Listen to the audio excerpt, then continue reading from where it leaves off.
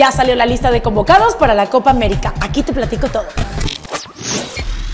La selección nacional ya está concentrada en San Diego con miras a lo que va a ser el arranque de la Copa Américas, que por cierto ya está por comenzar. El Jimmy Lozano tiene una tarea bastante difícil, pues va a tener una plantilla que va a tener que recortar porque solamente va a poder llevar 26 convocados y en la concentración tiene 31 jugadores. Sí, claro, aquí la tengo para ti. Esta podría ser ya la lista definitiva de los llamados a la contienda continental. Por parte de la portería, la verdad es que no hay ninguna novedad. Julio González, Pala Rangel, Carlos Acevedo ya aparecen en la lista. Solo falta definir quién va a ser el titular.